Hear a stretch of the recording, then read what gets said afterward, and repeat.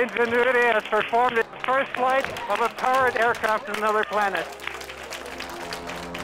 Ingenuity is that Wright brothers moment. We check the box, yes, we can fly on Mars.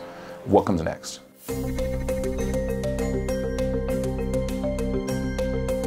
It all began with the question, can we fly on Mars? People have had ideas about flying aircraft on Mars for, for quite some time. That it's never been done before. But the only way to find out is by actually trying it. If you don't try it, you're not going to find out. On Mars, you have 1% the atmosphere to contend with compared to here on Earth. You know, that 1% density uh, makes everything tougher. Then there are a lot of other challenges. Uh, we have the environment. It gets very cold at night. It's far away, so needs a lot of autonomy. You upload commands and you wait to hear back the next day. There's no joysticking possible. We have to do analysis first, use our pen and paper, look at the fundamentals, and then we build simulation models.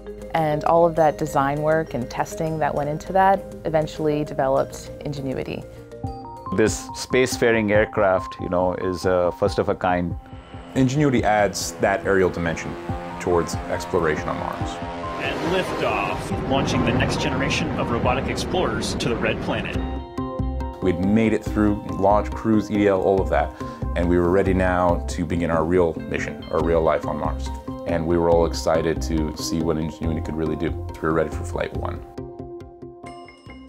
Earlier today, Ingenuity should have autonomously performed its first flight attempt on Mars.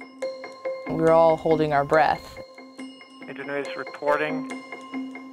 Altimeter data confirms that Ingenuity has performed its first flight of a powered aircraft to another planet.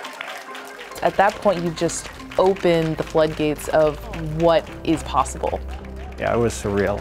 That was the crowning achievement of, of the team.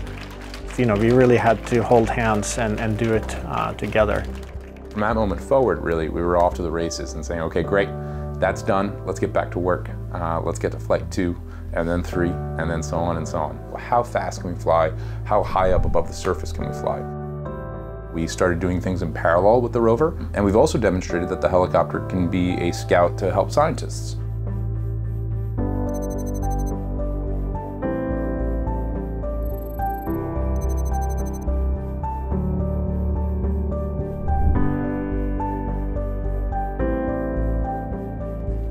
It's been a remarkable journey, um, and I think a highlight of all of our lives to have been a part of it. Of course, there's a little sadness that, oh no, it's, it's over. It's kind of the, like the end of an era, but it's also the beginning of an era. To realize, you know, what you're part of here, at least for me, I kind of get goosebumps. We hope that Ingenuity will inspire teams to build larger, more capable vehicles. From a science perspective, what is interesting now that we've unlocked that aerial dimension? The best way to predict the future is to create it.